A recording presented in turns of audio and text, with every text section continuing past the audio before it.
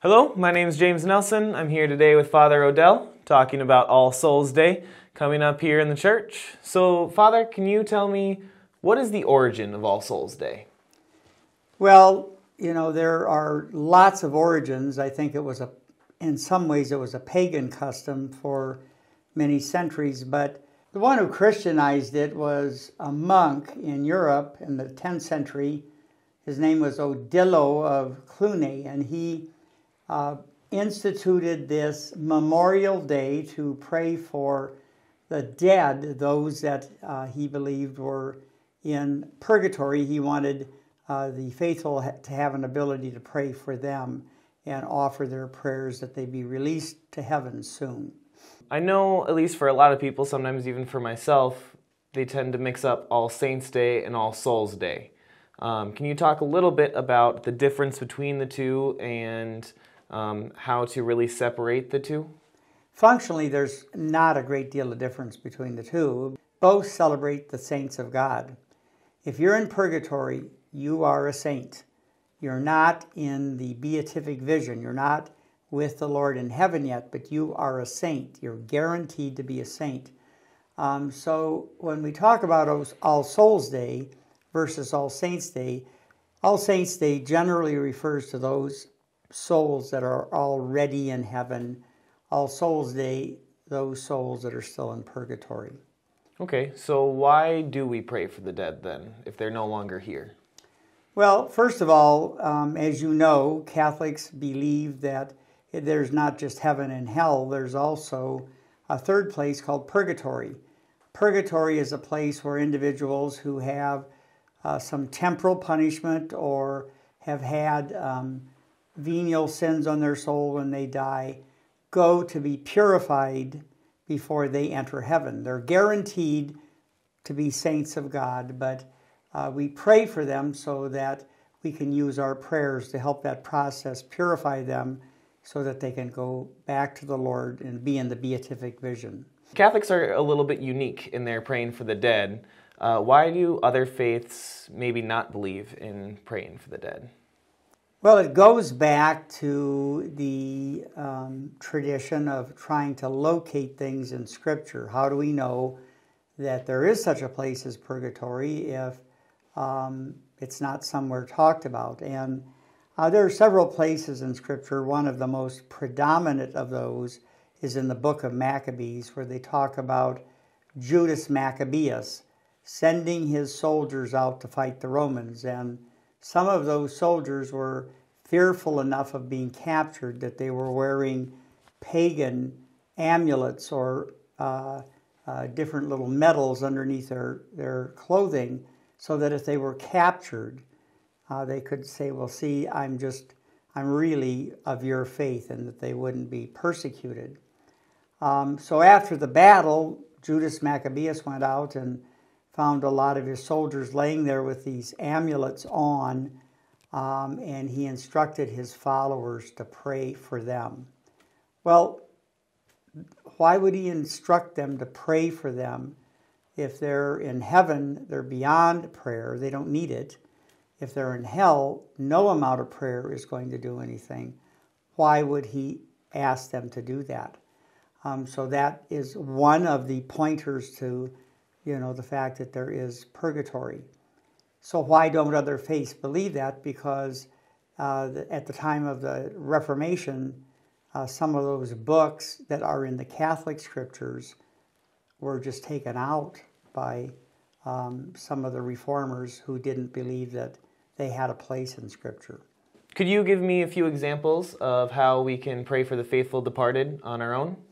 Well, one of the things we're going to be doing uh, this coming weekend is lighting the necrology candles, and we'll light a candle for each person uh, that has died over the past five years in our parish. And at the end of that, we uh, are silently praying as I read off the names. And then, quite often, what will happen is people will offer prayers on their own uh, and especially eternal rest grant unto them, O Lord, and let perpetual light shine upon them. Another thing that you can do is uh, certainly have a Mass offered for someone. Uh, the, the merit that goes with celebrating a Mass is just astronomically powerful. So if you have a mass said for, let's say, a deceased grandparent or whatever, that helps them if they're in purgatory. Saying the rosary. Um, so there's a lot of ways that we can pray for the uh, deceased. So, can you explain a little bit what an, an indulgence is, uh, as well as if there's any special type of indulgence associated with All Souls Day? Well, an indulgence is an act that you encounter or that you take to apply to your own well being or to someone else's well being who's deceased. Um, so, for example, it might be a work of charity, it might be um, a prayer, it might be some uh, religious observance that you go through. And then the merit of doing that is called an indulgence, and you can either use it for yourself and your well being, or you could ask that it be applied to someone in purgatory uh, to shorten their time to help them be purified. So, whenever we pray for the dead, that's why we're doing that. Um, not only do we pray for the dead, as in terms of Hail Marys and Our Fathers, but we also pray the Mass for someone who is deceased that they be uh, brought home to heaven as quickly as possible. The one thing you can't do with indulgences is you cannot do something you are doing in an indulgence and apply to someone still living indulgences always are applied to the deceased. So, Father, somebody told me there's two different types of indulgences. Can you explain the two different? Yes, I can. In fact, it's been a big uh, problem over the centuries since the time of the Protestant Reformation. Um, there are two kinds of indulgences. One is a time oriented indulgence. For example, if you're praying for someone that is deceased, and it says at the bottom, if you say this prayer, you get 30 days indulgence. That means that that person that is that that's being applied to would um, be given, if you will, a credit, uh, you know, for a reduction of the time uh, in purgatory because that prayer helps cleanse them. The second kind of indulgence is called a plenary indulgence, which takes away all temporal punishment, takes away all uh, stain of sin in any way, so that if you receive a plenary indulgence um, and you were to die, for example, you'd go right to heaven. Um, and that can also be applied to someone in purgatory as well. Mm. A plenary indulgence requires certain things. Number one, you have to be in a state of grace to um, get the plenary indulgence. Uh, and I, I said, well, yeah, but somebody might have stain of sin on their soul, but if someone else is offering that plenary indulgence, then that's wiped away.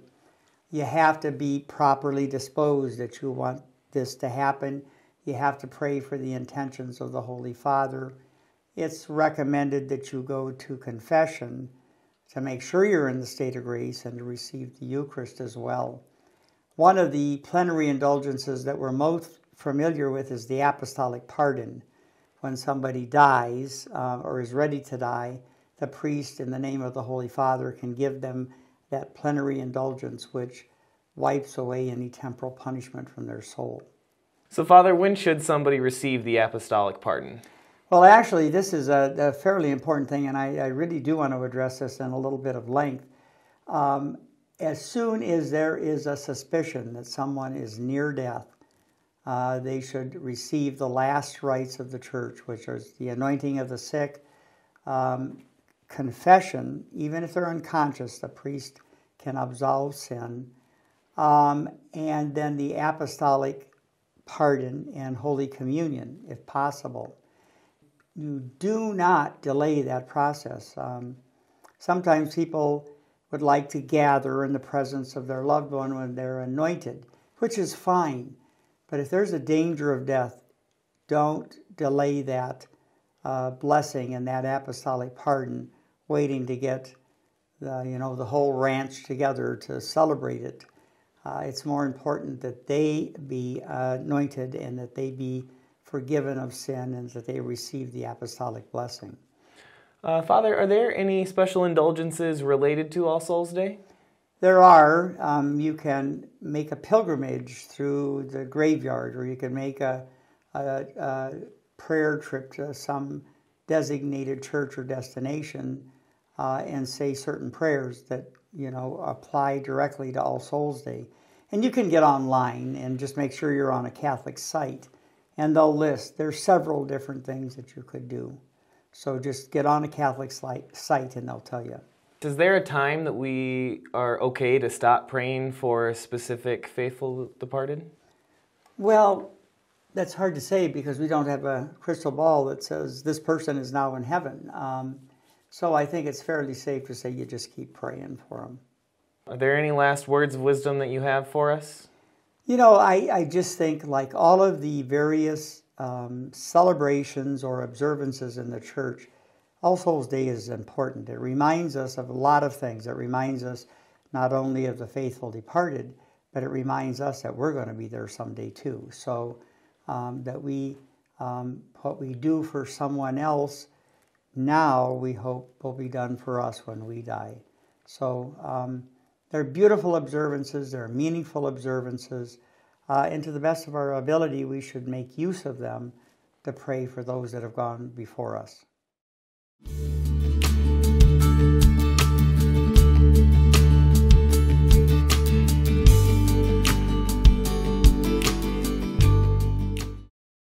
Hey, Father. So, will purgatory be anything like the waiting room at my doctor's office?